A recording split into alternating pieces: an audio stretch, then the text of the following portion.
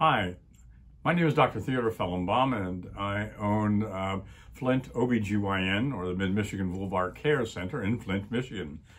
Um, I think the time comes in every practice's life when you need to reassess uh, how what you're doing, how to get the word out to uh, people about the uniqueness of your practice.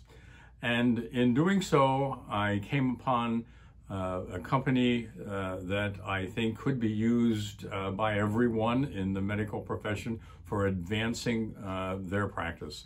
Uh, that company's name is Medical Marketing Whiz. And these people uh, are resourceful, energetic, and creative in helping design ways to advance your practice, to let people know what is special about the practice and basically why they should uh, come to the practice for certain types of therapies. This applies to even the aesthetics if you should have them. Uh, we have uh, utilized them for two years. We have been uh, remarkably impressed by how well they have uh, helped to increase our patient load and utilization by the people of uh, Flint and the surrounding areas.